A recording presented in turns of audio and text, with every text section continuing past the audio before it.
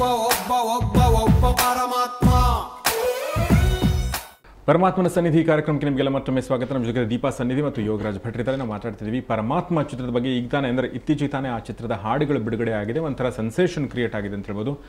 ಕನ್ನಡ ಚಿತ್ರರಂಗದಲ್ಲಿ ನಿಜಕ್ಕೂ ಕೆಲವೊಂದು ಹೊಸ ಹೊಸ ಅಲೆಗಳು ಬರ್ತಾ ಇರ್ತವೆ ಆಗುವಾಗ ಅಂಥ ಅಲೆಗಳಲ್ಲಿ ಈ ಹಾಡುಗಳು, ಈ ಥರದ ಚಿತ್ರಗಳು ಕೂಡ ಒಂದು ಈಗ ಮತ್ತೊಂದು ಸಲ ಅದೇ ಬರ್ತಾ ಇದೆ. ಈಗ ದೀಪಾ ಅವರು ಒಂದು ಪ್ರಶ್ನೆಯನ್ನು ಕೇಳಬೇಕಂತ ಇದ್ದಾರೆ. ತುಂಬ ದಿನಗಳಿಂದ ಅವರ ಮನಸ್ಸಲ್ಲಿ ಇಟ್ಕೊಂಡಿದ್ರಂತೆ ಆ ಪ್ರಶ್ನೆನ? ಅವ್ರಿಗೊಂದು ಅವಕಾಶ ಸಿಕ್ಕಿರಲಿಲ್ಲ. ಈಗ ಅವರು ಇನ್ ಕ್ಯಾಮ್ರಾ ಆ ಪ್ರಶ್ನೆ ನಿಮಗೆ ಕೇಳಬೇಕು ಅಂತ ಅನ್ಕೊಂಡಿದ್ದಾರೆ. ಸೊ ನಾನು ಅದಕ್ಕೆ ಈಗ ಅನುವು ಮಾಡಿ ಕೊಡ್ತಾ ಇದ್ದೇನೆ. ದೀಪ ನಿಮ್ಮ ಪ್ರಶ್ನೆ ನೀವು ಕೇಳ್ಬೋದು.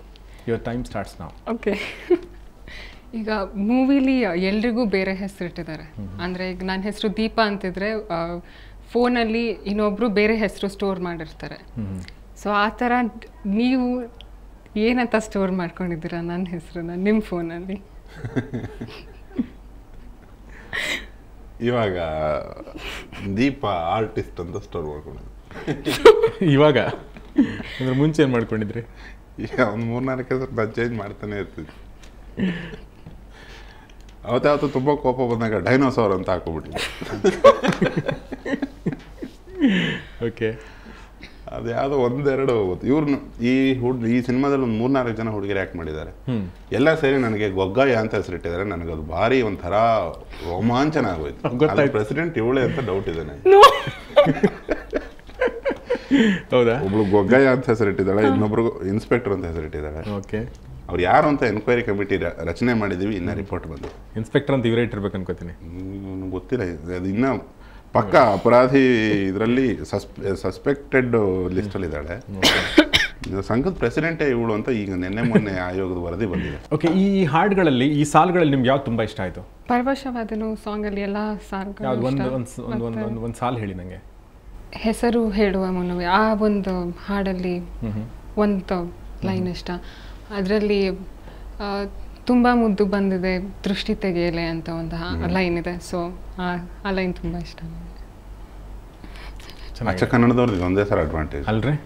ಈಗ ಈ ಚಿತ್ರದ ಮೂಲಕ ಏನು ಹೇಳಲು ಹೊರಟಿದ್ದೀರಾ ನೀವು? ಅಂದರೆ ಇವತ್ತಿನ ಕಾಲದಲ್ಲಿ ಈ ರಿಲೇಷನ್ನು ಅಥವಾ ಈ ಪ್ರೀತಿ ಪ್ರೇಮ ಅಂತ ತುಂಬ ಸ್ಟೀರಿಯೋ ಟೈಪ್ ಆಗಿ ಮಾತಾಡ್ತೀವಿ. ಅದೆಲ್ಲ ಸಿನಿಮೆಟಿಕ್ ಆಗಿ ಕೂತ್ಕೊಂಡ್ಬಿಟ್ಟಿದೆ.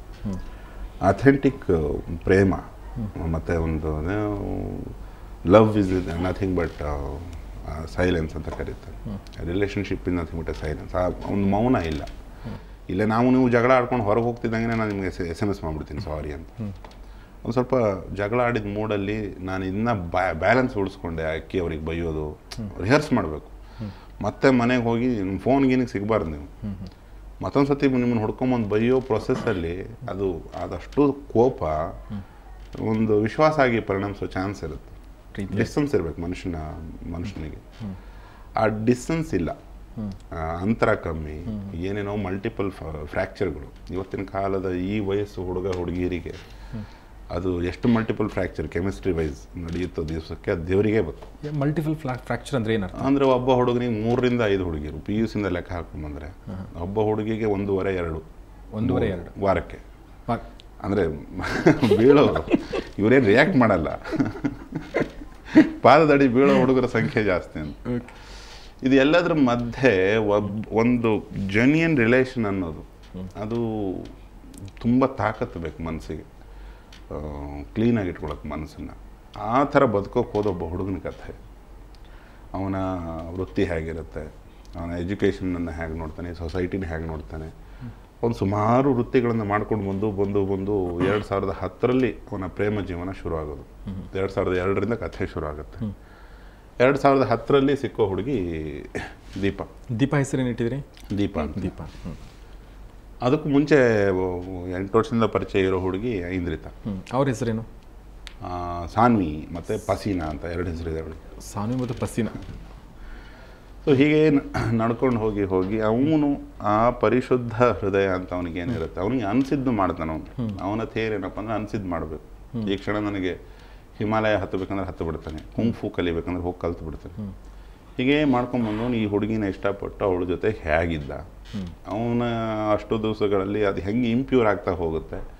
ಆದರೂ ಅವ್ನು ಹೆಂಗೆ ಅದನ್ನೆಲ್ಲ ತಡ್ಕೊಂಡು ಕ್ಲೀನ್ ಮಾಡ್ಕೊಂಡು ಅವನನ್ನು ತುಂಬ ಕ್ಲೀನಾಗಿ ಉಳಿಸ್ಕೊಂಡ ಅನ್ನೋದು ಕಥೆ.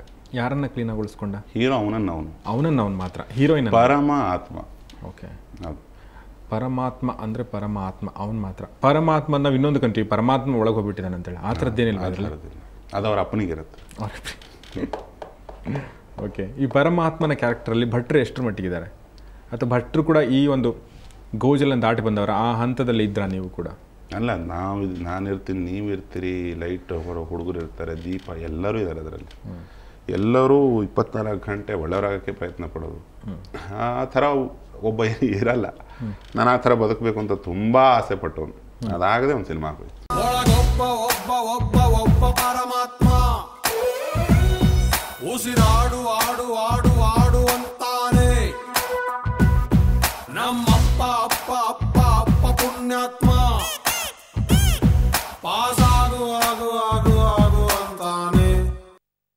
ಸರ್ ಕರಡಿ ಸರ್ ಒಂದ್ಸಲ ಹಾಡಿ ಸರ್. ಇನ್ನೊಂದ್ಸತಿ ಹಾಡ್ತೀನಿ. ಇಲ್ಲ ನೀವು ಒಂದು ಎರಡು ಮೂರು ಸಾಲ ಒಂದು ಒಂದು ಇದನ್ನ ಒಂದು ಚರಣರ ಹಾಡ್ರಿ. ಬೆನ್ನಲ್ಲಿ ಹುಣ್ಣಂತೆ ಆ ಫಸ್ಟ್ ಲವ್ವೋ ಮಾರಿ ಅಂಗಾತ ಮಲ್ಕೊಂಡ್ರೆ ನೋವು ಎಲ್ಲಾನು ಮರೆಯೋಕೆ ಹೋಗ್ಬಾರ್ದು ರೀ ಕೆರೆಯೋಕೆ ಹುಣ್ಣೊಂದು ಇರಬೇಕು ರೀ. ಕತ್ಲಲ್ಲಿ ಕರಡಿಗೆ ಜಾಮೂನು ತಿನಿಸೋಕೆ ಯಾವತ್ತೂ ಹೋಗಬಾರ್ದು ರೀ. ಬಾಕಿ ಸಮಾಚಾರ ಬ್ರೇಕ್ಗೆ ಬಾದಂತೀನಿ ನನ್ನನ್ನು ನಂಬ್ಕೊಂಡಿರಿ. ಚೆನ್ನಾಗಿದೆ ಸರ್ ತುಂಬ ಚೆನ್ನಾಗಿದೆ. ಈ ಕೆರೆಯೋಕೊಂದು ಹುಣ್ಣು ಬೇಕಂತ ಹೇಳಿದ್ರಲ್ಲ ಏನಿದ್ರ ಅರ್ಥ? ಅದೇ ಹೇಳಿದ ಮಲ್ಟಿ ನೋವು ಇರಬೇಕು ಅಂತಾರೆ. ಪಿ ಯು ಸಿಲಿ ಒಂದು ಡಿಗ್ರಿಲಿ ಎರಡು. ಡಿಗ್ರಿಯಿಂದ ಒಂದು ಕೆಲಸಕ್ಕೆ ಸೇರ್ಕೊಂಡ್ಮೇಲೆ ಒಬ್ಬ ಹುಡುಗನಿಗೆ ಎಷ್ಟು ಗಾಯಗಳು ಏನು ಕಾತೀವೋ ಹುಡುಗರನ್ನೇ ಕೇಳಬೇಕು. ದಿನ ಬೆಳಗಾದರೆ ಕಾಲೇಜ್ ಹುಡುಗರು ಸಿಗ್ತಾರೆ ನನಗೆ ಒಂಥರ ಭಾವಗೀತೆ ಸರ್ ಅವ್ರದ್ದು ಬ್ಯಾಚುಲರ್ ಭಾವಗೀತೆ. ಅವರಿಗೆ ಒಂದು ಭಾವಗೀತೆ ಬೇಕು ಅಂತ. ಓಕೆ. ಅವರಿಗೊಂದು ರಾಷ್ಟ್ರಗೀತೆ ಬೇಕು ಅಂತ ಬರೆದದ್ದು ಕತ್ಲಲ್ಲಿ ಕರಡಿ. ಕತ್ಲಲ್ಲಿ ಕರಡಿಗೆ ಜಾಮೂನು ತಿಳಿಸ್ಬಾರ್ದು ಎಸ್ ಸೊ ದೀಪಾ ಮತ್ತು ಪಟ್ರೆ ನಮ್ಮ ಜೊತೆ ಇಲ್ಲಿವರೆಗೆ ಬಂದು ಮಾತಾಡೋದಕ್ಕೆ ತುಂಬ ಥ್ಯಾಂಕ್ಸ್ ನಿಮಗೆ. ನಾನು ದೀಪ ಅವ್ರಿಗೆ ಪ್ರಶ್ನೆಗಳನ್ನ ಕೇಳಿದ್ರೆ ನಿಮ್ಗೆ ಕೇಳಿದ್ರೆ ನೀವು ಮಾತಾಡಿದರೆ ದೀಪ ಅವರು ನಗುವಿನ ಮೂಲಕನೇ ಉತ್ತರ ಕೊಟ್ಟರು ಆ ನಗುವಿನ ಅರ್ಥ ಏನು ಅಂತ ನಾವು ಈ ಕಾರ್ಯಕ್ರಮ ಮುಗಿದ ನಂತರ ಅರ್ಥೈಸಿಕೊಳ್ಳೋ ಪ್ರಯತ್ನ ದೀಪ ಮಾತಾಡಲ್ಲ ಬೆಳಕು ಕೊಡ್ತದೆ ಆದರೂ ನಾನು ಈಗ ಇಷ್ಟೆಲ್ಲ ಪ್ರಶ್ನೆಗಳನ್ನ ಕೇಳಿದ ನಂತರ ದೀಪ ಮತ್ತು ನಿಮಗೆ ಕೆಲ್ ಉತ್ತರ ಅವ್ರು ಕೊಡಲಿಲ್ಲ.